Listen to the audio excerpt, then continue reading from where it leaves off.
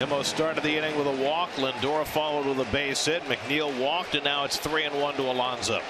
And Pete flies one to right field. Back goes Brennan to the warning track at the wall.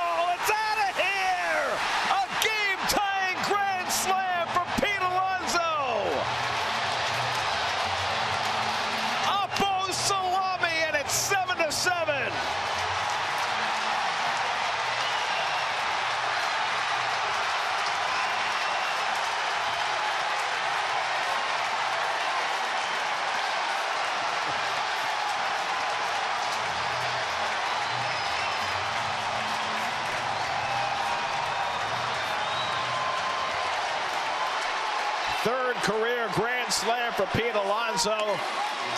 He's homered in four straight games for the second time in his career. His 71st home run at Citi Field, tying him with Lucas Duda for the Citi Field record. What a moment.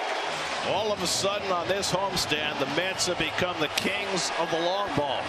Alonso with a grand slam in the seventh, and the Mets have come from five runs down to get this game even.